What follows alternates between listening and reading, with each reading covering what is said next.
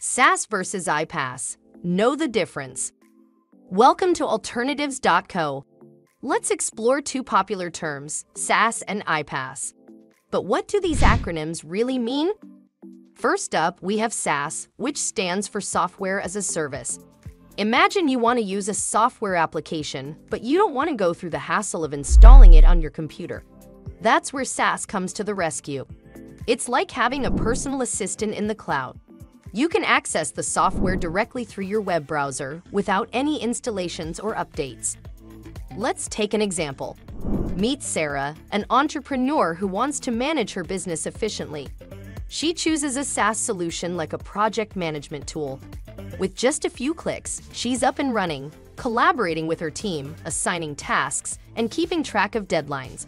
SaaS makes it convenient for Sarah to access the software from anywhere, anytime, as long as she has an internet connection. The best part about SaaS is its versatility. There are SaaS applications for customer relationship management, human resources, accounting, you name it. It's like a buffet of software options tailored to your needs. And since everything is hosted in the cloud, you don't have to worry about maintenance or security. Now, let's move on to iPaaS, which stands for Integration Platform as a Service. iPaaS is like the ultimate superhero, solving the complex puzzle of connecting different software applications together seamlessly. Let's consider an example. You have multiple software applications for different departments in your company. For example, you have a CRM tool for sales, an accounting tool for finance, and an inventory management tool for operations. But these applications don't talk to each other, which can lead to a lot of manual work and headaches. iPaaS acts as a bridge, allowing these applications to communicate and share data effortlessly. With iPaaS, you can automate processes and eliminate data silos. Let's join Mark, who works in the finance department of a growing company.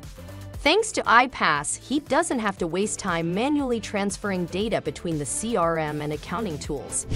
With a few simple configurations, data flows seamlessly, ensuring accuracy, efficiency, and happy employees.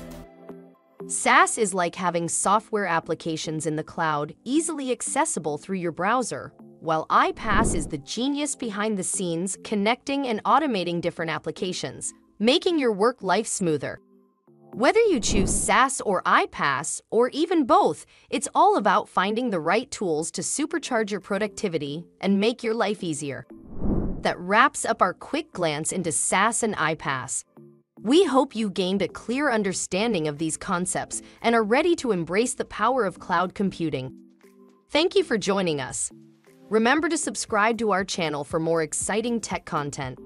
Until next time, keep exploring, keep innovating, and keep having fun with technology.